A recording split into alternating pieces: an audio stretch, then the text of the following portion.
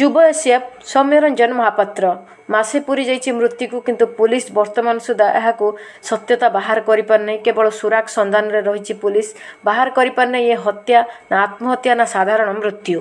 ଏହାକୁ ନେଇ ପୁଲିସ ଦୁଇ ଦୁଇଥର ଜେରା କଲା ପରେ ମଧ୍ୟ ବିଦ୍ୟାକୁ ବର୍ତ୍ତମାନ ସୁଦ୍ଧା ଗିରଫ କରିନାହିଁ ପୁଲିସ। ସେପଟେ ସୌମ୍ୟଙ୍କ ଓକିଲଙ୍କ କହିବା କଥା ସବୁକିଛି ଏଭିଡେନ୍ସ ଅଛି କିନ୍ତୁ ପୁଲିସ ହାତରେ ସବୁକିଛି ଅଛି ଗିରଫ କରିବାର। ଯେଉଁ ଯାହା ବି ପ୍ରୋସେସ୍ ରହିବା କଥା କିନ୍ତୁ ପୁଲିସ ଗିରଫ କରୁନାହିଁ। ଏହାରି ଭିତରେ ବର୍ତ୍ତମାନ ପେଶୀ ହୋଇଗଲେଣି ଘର ଲୋକ ଆମେ କହିପାରିବା ସୌମ୍ୟଙ୍କ ଘର ଲୋକ। କାରଣ ମାସେ ହୋଇଗଲାଣି ତାଙ୍କ ପୁଅକୁ ନ୍ୟାୟ ମିଳିପାରୁନି କାହାର ଭାଇକୁ ମଧ୍ୟ ନ୍ୟାୟ ମିଳିପାରୁନି। ବର୍ତ୍ତମାନ ମୁଖ୍ୟମନ୍ତ୍ରୀ ପ୍ରଧାନମନ୍ତ୍ରୀଙ୍କ ପର୍ଯ୍ୟନ୍ତ ସମସ୍ତଙ୍କୁ ଚିଠି ଲେଖି ସାରିଥିଲେ ମଧ୍ୟ କାହାରି ପାଖରୁ କୌଣସି ଉତ୍ତର ଆସିନାହିଁ ତେଣୁ ଘର ଲୋକ ମନସ୍ଥ କରିଛନ୍ତି ନିଶ୍ଚିତ ଭାବରେ ନବୀନ ନିବାସ ଆଗରେ ଆତ୍ମାହୁତି ଦେବା ପାଇଁ କାହିଁକି ନା ସବୁକିଛି ପ୍ରମାଣ ଥାଇ ଯଦି ସରକାର ତାଙ୍କ କଥା ନ ବୁଝନ୍ତି ତାହେଲେ ନିଶ୍ଚିତ ଭାବରେ ସପରିବାର ଆତ୍ମାହୁତି ଦେବେ ନବୀନ ନିବାସ ଆଗରେ।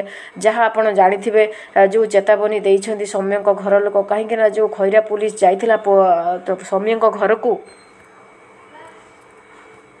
ସେତେବେଳେ ହିଁ ସୌମ୍ୟଙ୍କ ବାପା କହିଥିଲେ କି ସିଏ ଆତ୍ମାହୁତି ଦେବା ପାଇଁ ଚାହୁଁଛନ୍ତି। ଆଉ ସପରିବାର ମଧ୍ୟ ଆତ୍ମାହୁତି ଦେବେ ନବୀନ ନିବାସ ଆଗରେ। କାରଣ ବର୍ତ୍ତମାନ ନବୀନକୁ ଦୁଇ ଦୁଇ ଥର ଚିଠି ଲେଖିଲା ପରେ ମଧ୍ୟ କୌଣସି ଉତ୍ତର ଆସିନାହିଁ ସେପଟେ ସିବିଆଇ ତଦନ୍ତ ପାଇଁ ମଧ୍ୟ ନିର୍ଦ୍ଦେଶ ଦିଆଯାଉ ଯାଉନାହିଁ ନିଶ୍ଚିତ ଭାବରେ ଏସବୁ କ୍ଷେତ୍ରରେ ସେମାନେ ଭାଙ୍ଗି ପଡ଼ିଛନ୍ତି। ଲାଷ୍ଟ ତାଙ୍କର ଆତ୍ମାହୁତି ହିଁ ରହିଛି।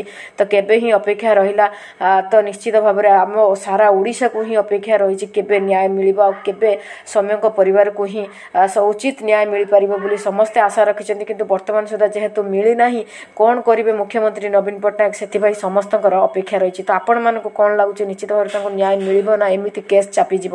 ତ ନିଶ୍ଚିତ ଭାବରେ କମେଣ୍ଟ କରନ୍ତୁ। ରହୁଛି। ନମସ୍କାର।